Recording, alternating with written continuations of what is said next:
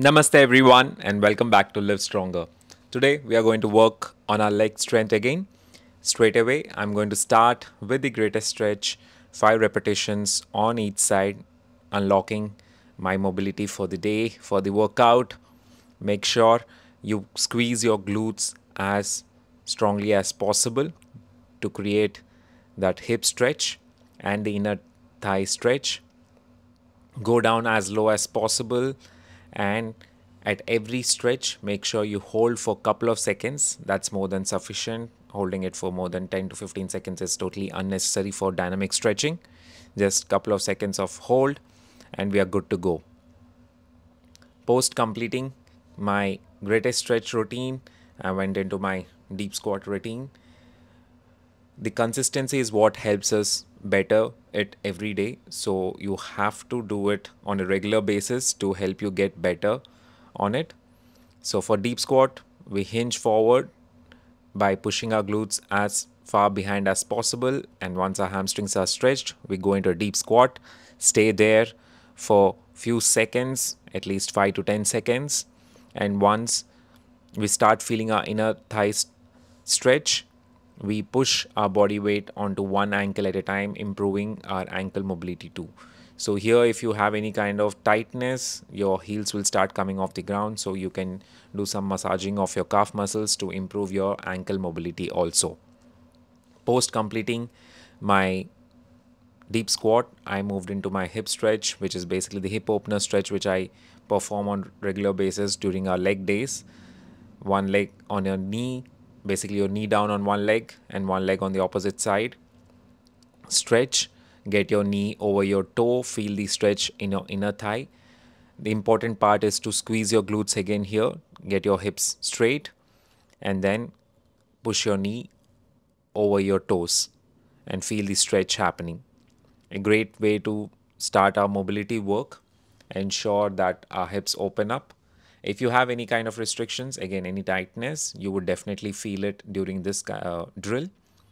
And if that exists, the area where you feel tightness, try foam rolling or massaging to relieve some tension and try the stretch again to see any kind of improvement. If it doesn't improve immediately, you might need few days of foam rolling and massaging the area to improve the flexibility or the stretchability of the area a little bit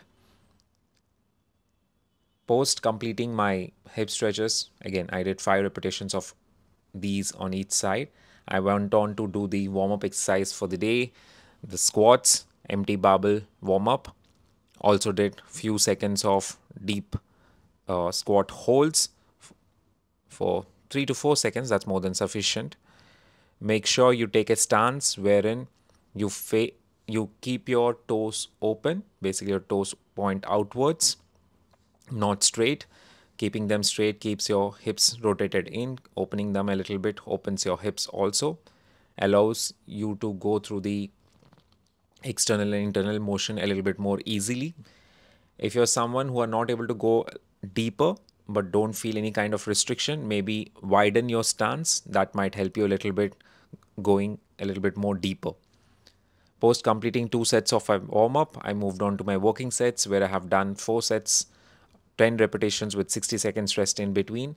As you can see in the video, with or without weight, my motion of the squat always remains the same. Even as I'm increasing the weight, the barbell movement remains almost the same. There's very little deviation from the barbell path.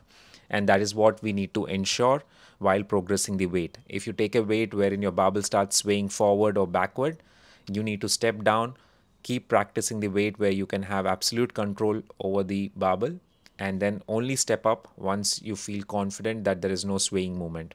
You can always record yourself to see the barbell's path. It has to be as straight as possible as you can see here in the videos. Very simple technique I always use is to squeeze my glutes before going down to get my hips straight and then go down.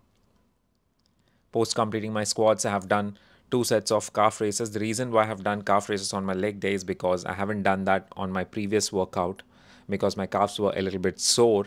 I gave them some time to recover and today I felt them felt they were better so I went on to do my donkey calf raises. I've done two sets of these 12 to 15 repetitions, but with 4 second hold at contraction and at stretch. The important part is to hold. Again, as I mentioned earlier, I used to rush through them by going multiple repetitions, by going up to 25 to 30 repetitions, but I was not getting the optimum results which I aim to get. So I learned that if I slow down the contractions as much as possible, I would be able to get a better uh, working of my calf muscles, basically eliminate the involvement of my tendons. So make sure you hold 4 seconds at every rep at the contraction point where your heels are up and at the stretch point where heels are completely down.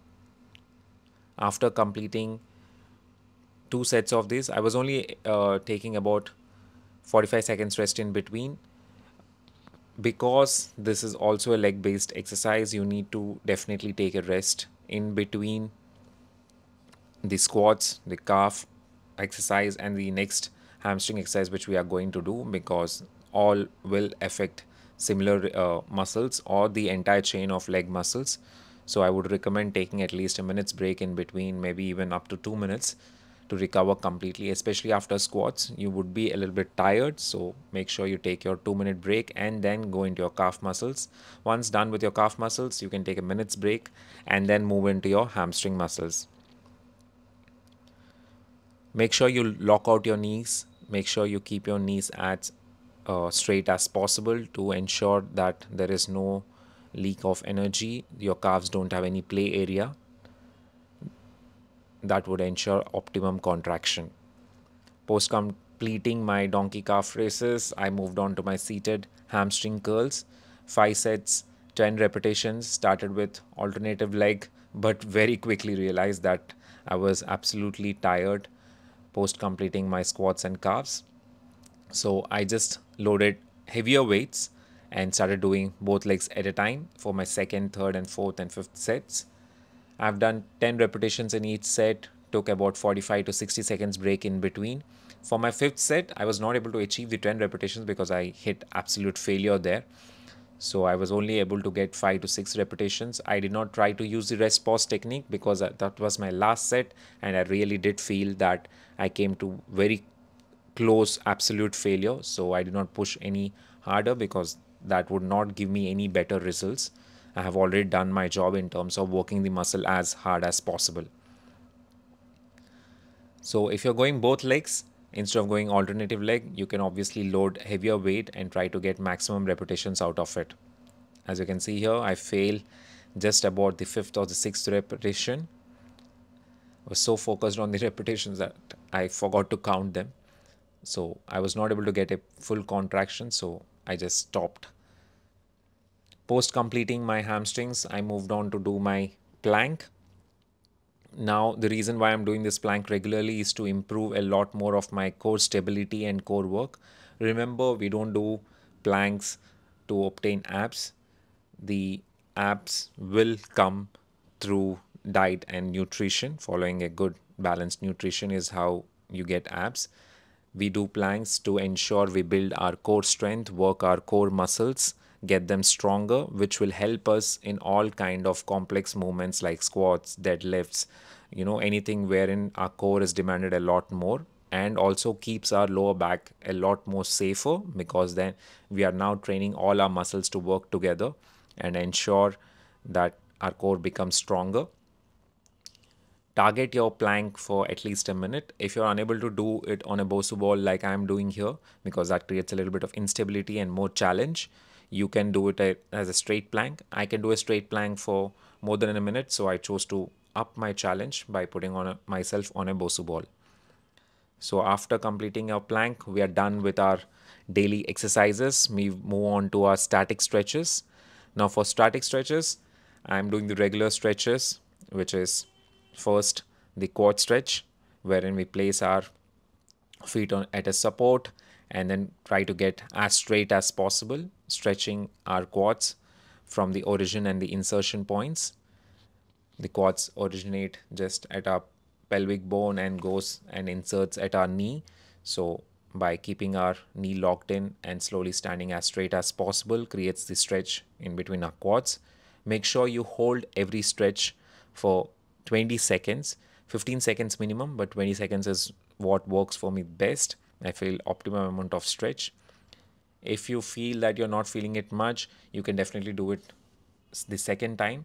Third time, I don't see the necessity. Two times of a particular stretch is more than sufficient. But if you still feel tightness, definitely choose to do a little bit of foam rolling. That would relieve more tension than doing multiple number of stretches on a same muscle. The uh, important part here is to make sure you stand as straight as possible in line. Basically it's not just standing straight because here since the support which i'm using to put my rest my foot is a little bit inclined i need to incline myself also to get into a straight line. Post doing my quad stretches i just increase the height of the support and moved on to my hamstring stretches making sure that you'll be able to still see it properly for hamstrings, again, the simple stretch, just place your foot at an elevated height and then either bend forward, basically pulling your glutes away from your hamstrings, or you can also bring your toes towards your shins. That pulls your calf muscles. Since your calf muscles also connect with your hamstrings, you would also feel a good amount of stretch in your hamstrings but bending forward or pushing your glutes far back as far back as possible is also a good way to exaggerate the stretch.